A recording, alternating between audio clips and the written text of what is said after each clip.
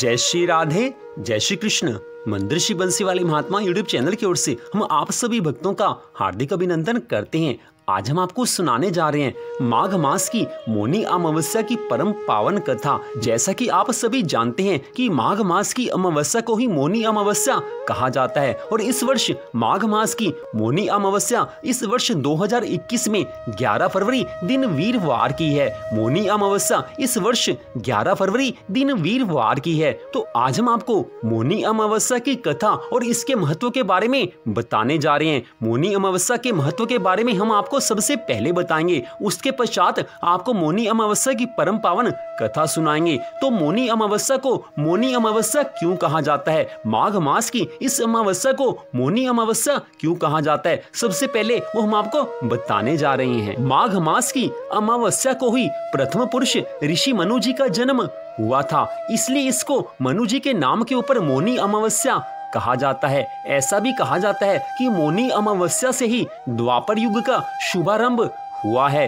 मोनी अमावस्या या माघी अमावस्या के दिन गंगा स्नान का बड़ा पुण्य फल मिलता है, क्योंकि इस दिन गंगा जल बिल्कुल अमृत के समान बन जाता है। वैसे तो गंगा जी सदा ही अमृतमयी है। गंगा जी का स्नान सदा पुण्य फल देने वाला है, लेकिन इस मोनी अमावस्या के दिन गंगा स्नान का सर्वाधिक महत्व हो जाता है और इस दिन विशेष रूप से दान पुण्य भी करना चाहिए, क्योंकि मोनी अमावस्या के दिन जो भी हम दान पुण्य करते हैं, उसका अनंत गुना पुण्य फल मिलता है। और विशेष रूप से पितरों की प्रसन्नता के लिए, पितरों के उद्धार के लिए मोनी अमावस्या को दान पुण्य अवश्य करना चाहिए। मोनी अमावस्या के दिन विशेष रूप से कहा जाता है कि इस दिन मौन व्रत का पालन करना चाहिए। लेकिन अगर मौन व्रत का पालन ना भी हो सके तो किसी को भी दुर्वचन इस दिन नहीं कहने चाहिए। इस दिन विशेष रूप से भगवान के नामों का जाप करना चाहिए। इस तिथि को विशेष रूप से संत महात्माओं की तरह अपना आचरण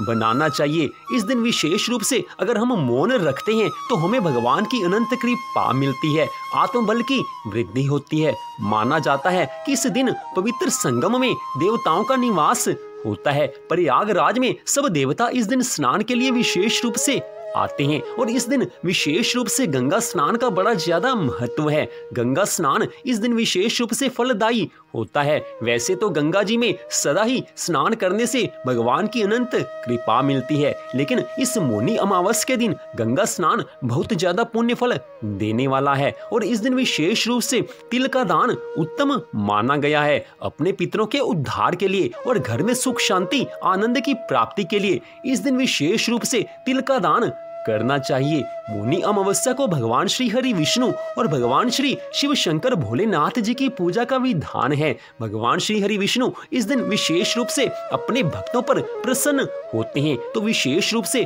भगवान श्री हरि विष्णु और भगवान शंकर इन दोनों भगवान के रूपों का पूजन करना चाहिए। भगवान शिव तो वैसे भी सदा ही भोले भाले हैं। इनका विशेष रूप से इस दिन पूजन करना चाहिए। मोनी अमावस्या को गंगा स्नान करने के पश्चात पितरों को जल अर्पित करना चाहिए। ऐसा करने से पितरों को अनंत काल तक तृप्ति प्राप्त होती है। विशेष रूप से तीर्थ स्थलों पर पिंड दान का विशेष महत्व इस दिन ज़्यादा बढ़ जाता है। इसलिए मोनी अमावस्या के दिन विशेष रूप से इन सब बातों की तरफ़ ध्यान देना चाहिए। अगर मोनी अमावस्या के दिन हम कहीं बाहर स्नान करने के लिए ना भी जा सके तो घर में जब हम स्नान करने लगे तो नहाने के जल में थोड़ा सा गंगा जल की कुछ बूंदे मिला लेनी चाहिए। ऐसा करने से गंगा माँ की अनंत कृपा मिलती है और हमारा वो स्नान, गंगा स्नान कहा जाएगा। हमारे शास्त्रों में बताया गया है कि नहाने के जल में थोड़ा सा गंगा जल मिला लिया जाए तो भी गंगा स्नान का पुण्य फल मिलता है। भगवान की अनंत कृपा।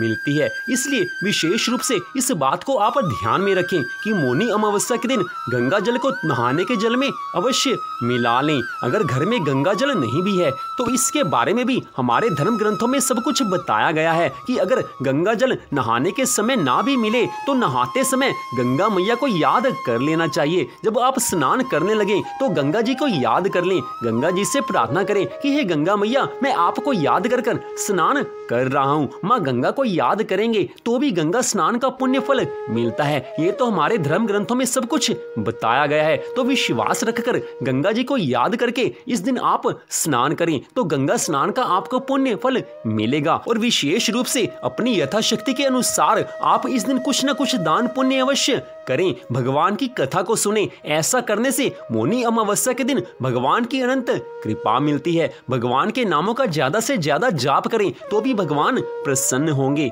तो अब हम आपको सुनाने जा रहे हैं मुनि अमावस्या की परम पावन कथा कि जिसको सुनने मात्र से भगवान की अनंत कृपा मिलती है। तो वह कथा इस प्रकार है। कांचीपुरी में देव स्वामी नामक ब्राह्मण की पत्नी धनवती थी। उनके सात बेटे तथा एक बेटी थी। बेटी का नाम गुणवती था। ब्राह्मण ने सातों पुत्रों का विवाह करके बेटी के लिए वर की खोज में सबसे बड़े पुत्र को भेजा है। तत्पश्चात किसी पंडित ने पुत्री की जन्म कुंडली देखकर कहा कि सप्तपदी होते होते यह कन्या विधवा हो जाएगी। वैधव दोष दूर करने के लिए पंडित जी ने एक उपाय बताया कि सोमा के पूजन से उसका वैधव दोष दूर हो जाएगा। सोमा का निवास स्थान सिंहल द्वीप है।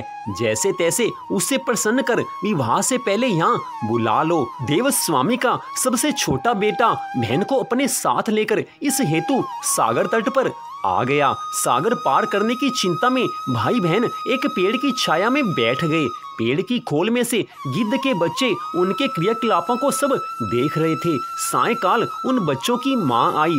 उन्होंने माँ के कहने पर भी भोजन नहीं किया।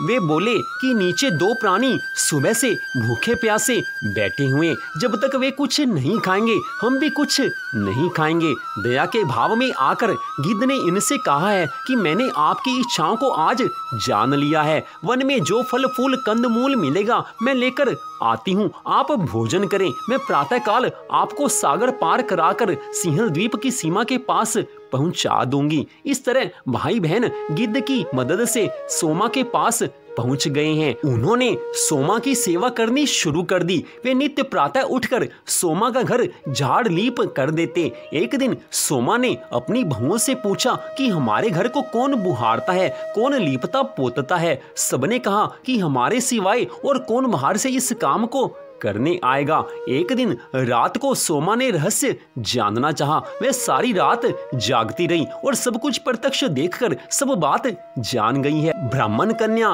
लड़के द्वारा घर के लीपने की बात जानकर उससे भाई ने सोमा से बहन संबंधी सारी बात बता दी। सोमा ने उनके श्रम साधना तथा सेवा से प्रसन्न होकर उचित समय पर उनके घर पहुँचने का वचन देकर कन्या के वैधव दोष निवारण का आश्वासन दे दिया। आग्रह करने पर सोमा उनके साथ ही चल दी है।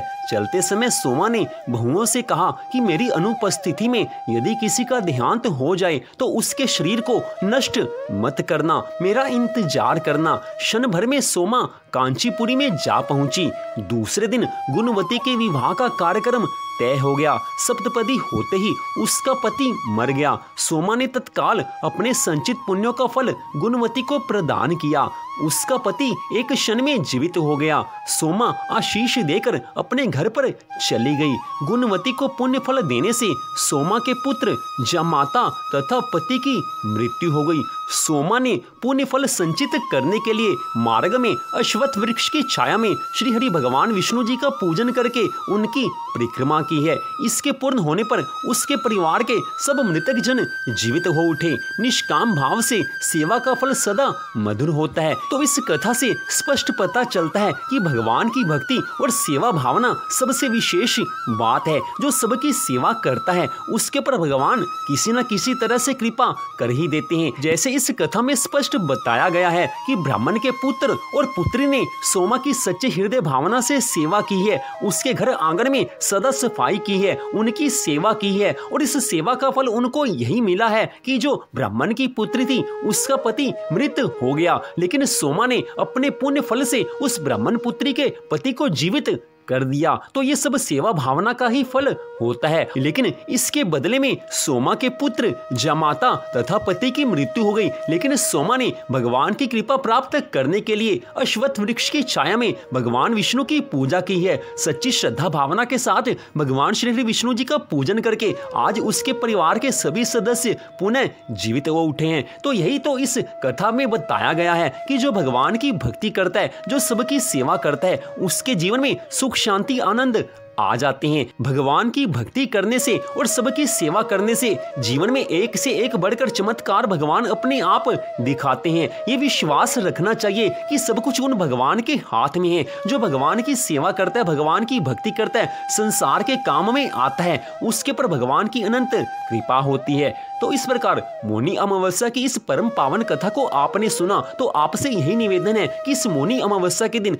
जो कि 11 फरवरी, दिन वीरवार को है। मोनी अमावस्या इस वर्ष 11 फरवरी दिन वीरवार को है। तो मोनी अमावस्या के दिन आपसे निवेदन है कि आप प्रातः काल गंगा जल मिलाकर अपने घर पर स्नान करें। अगर गंगा जल घर पर नहीं भी है तो भी गंगा मैया को याद करके, भगवान जी को याद करके प्रातः स्नान करें और जो कुछ बन सके, अपनी यथाशक्ति के अनुसार कुछ दान पुण्य अवश्य करें। भगवान की अनंत कृपा आप सब पर बनी रहेगी। यही इस कथा में बताया गया है। तो मंदिर श्री बंसी वाले महात्मा यूट्यूब चैनल की ओर से इस कथा को आप सुन रहे थे। आपसे निवेदन है कि श्रीमद भागवत महापुराण की कथा को भी आप हमारे चैनल पर प्रतिदिन अवश्य सुने। श्रीमद भागवत महापुराण के एक अध्याय की कथा प्रतिदिन हमारे चैनल पर सुनाई जाती है। तो कृपया आप उसको भी अवश्य सुने। उसका लिंक हमने इस वीडियो के डिस्क्रिप्शन में दे दिया है। तो मोनी अमावस्या की इस कथा को सुनने के लिए आप सबका हार्दिक धन्यवाद। भगवान श्री राधा कृष्ण जी की अनंत कृपा सदा आप सब पर, आपके परिवार पर